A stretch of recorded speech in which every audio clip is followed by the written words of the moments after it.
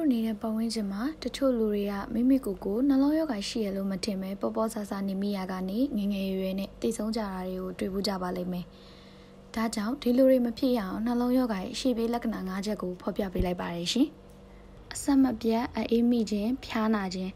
လူတယောက်ကတာမန်နဲ့မတူပဲအဆက်မပြတ်အေးမိမယ်ဖျားနာမယ်ဆိုရင်နှလုံးကျန်းမာရေးကိုစစ်ဆေးသင့်ပါတယ်။ဒါဟာနှလုံးရောဂါရဲ့ရှိပြီးလက္ခဏာတစ်ခုဖြစ်နိုင်ပြီးနှလုံးကနေခုခံအားကျဆင်းတဲ့အခါစတင်ပြသတဲ့ယောဂလက္ခဏာလည်းဖြစ်ပါတယ်။ရှင်ဘတ်မကြာခဏအောင်ခြင်းရှင်ဘတ်ခဏခဏအောင်တဲ့သူတွေလည်းမပေါ်စားသင့်ပါဘူးပုံမှန်အားဖြင့်ရှင်ဘတ်အတွင်းမှာရှိတဲ့နှလုံးနဲ့ဆက်ဆက်နေတဲ့သွေးပြန်ကြောတွေပုံမှန်အလုပ်လုပ်ဖို့နှောင့်နှေးတဲ့အခါရင်ဘတ်အောင်တတ်ပါတယ် ဒီလိုခဏခဏအောက်ရင်တော့နှလုံးထုခုနဲ့ပြသဖို့လိုအပ်ပါတယ်ရှင်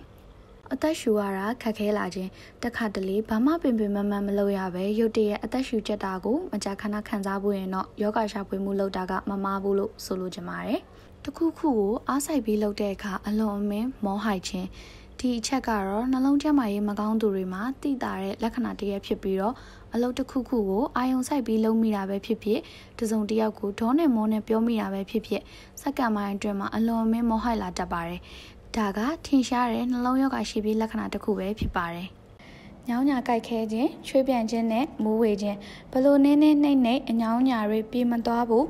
ရာသီဥတုကြောင့်မဟုတ်ပဲချွေးတွေပြန့်နေရဆိုရင်လေဒါဟာနှလုံးရောဂါရဲ့ရှေ့ပြေးလက္ခဏာတစ်ခုပဲဖြစ်ပါတယ် တခါတလေခေါင်းထဲမှာမအီမလဲခံစားနေရပြီးကြည်လိုက်တဲ့မြင်ကွင်းမှာအရာဝတ္ထုတွေမုံဝါးဝါဖြစ်လေရှိရင်လည်းသွေးရနဲ့လို့မူးတဲ့ပုံစံနဲ့မတူလို့နှလုံးကိုစစ်ဆေးသင့်ပါတယ်ရှင်။နောက်ထပ်လည်းကျမကြီးနဲ့ပတ်သက်တဲ့ဘူးတုတာတွေဖော်ပြပေးသွားမှာဖြစ်တဲ့အတွက်ဒီဗီဒီယိုလေးကို like and share လုပ်ပေးဖို့မမေ့ပါနဲ့နော်။